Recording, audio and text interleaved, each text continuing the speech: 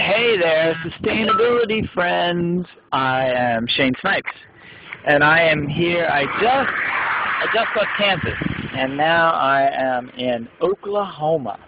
Oklahoma. Uh, I keep wanting to say the San Francisco tree, but I think it's singing Oklahoma. Um, really weird.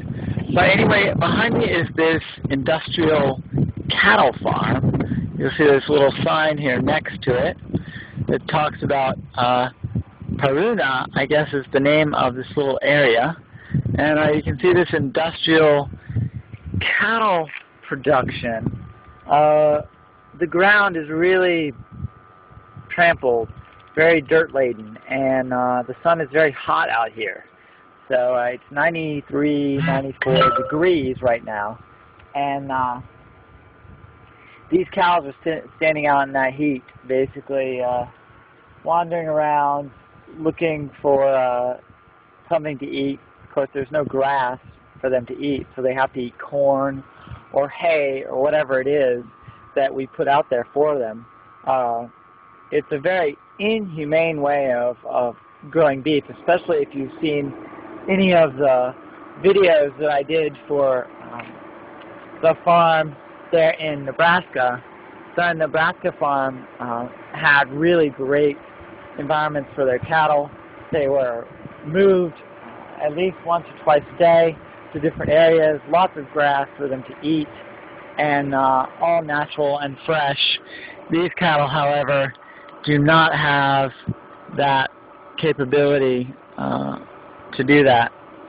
So, just think of it when you're ordering your beef, try to find grass-fed, free-range cattle uh, when you're eating next time.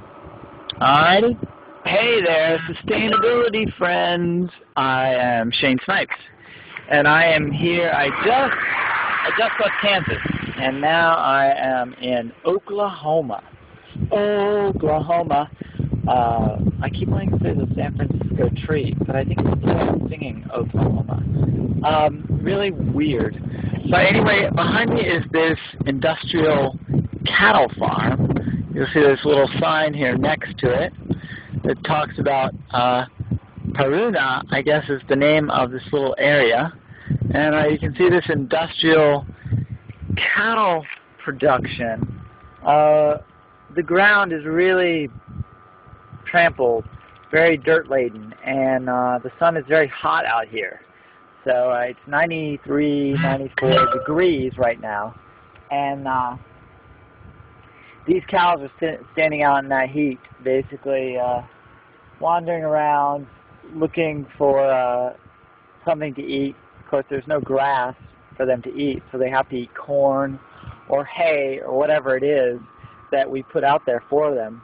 Uh, it's a very inhumane way of, of growing beef, especially if you've seen any of the videos that I did for um, the farm there in Nebraska, the Nebraska farm uh, had really great environments for their cattle. They were moved at least once or twice a day to different areas, lots of grass for them to eat, and uh, all natural and fresh. These cattle, however, do not have that capability uh, to do that. So just think of it when you're ordering your beef, try to find grass-fed, free-range cattle uh, when you're eating next time.